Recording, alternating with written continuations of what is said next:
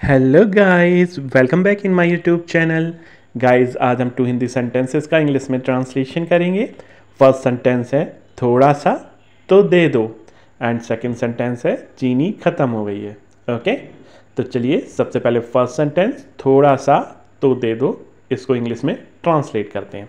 इसका English translation होगा give at least a little bit okay got it अब हम करेंगे सेकेंड सेंटेंस का इंग्लिश में ट्रांसलेशन सेकेंड सेंटेंस है, चीनी खत्म हो गई है।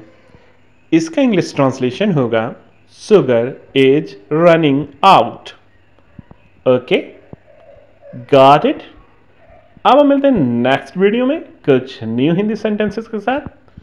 Thank you